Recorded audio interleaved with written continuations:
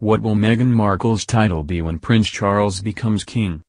It's not something anyone likes to think about but there will come a time when Queen Elizabeth II is longer with us and her son, Prince Charles, will become king. And it's no secret that when that time comes a lot will change. What many people have questions about is what changes there will be within Charles' immediate family. We know William and Kate Middleton's lives will be impacted as they prepare for their roles as the future king and queen consort. But what about Prince Harry's wife? Meghan Markle. Since she doesn't have the same role Middleton will, how will things for her be different, and when her father-in-law is king what will her title be? Here's the answer to that as well as what the Duchess of Cambridge's new title will be. What Kate Middleton's title will be when Charles is king.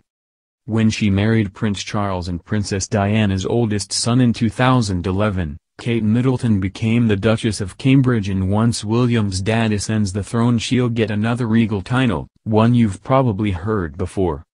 When Charles is king, William will then likely receive his dad's Prince of Wales title making his wife the Princess of Wales, a title previously held by Diana.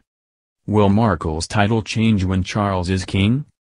Meghan Markle also got her regal title when she married a prince, however, because Harry is not Charles' oldest son his Duke of Sussex title does not need to be changed. Therefore as the Express noted, when the Duke of Cornwall is crowned King Markle will remain the Duchess of Sussex unless Charles decides to gift her and Prince Harry with another title.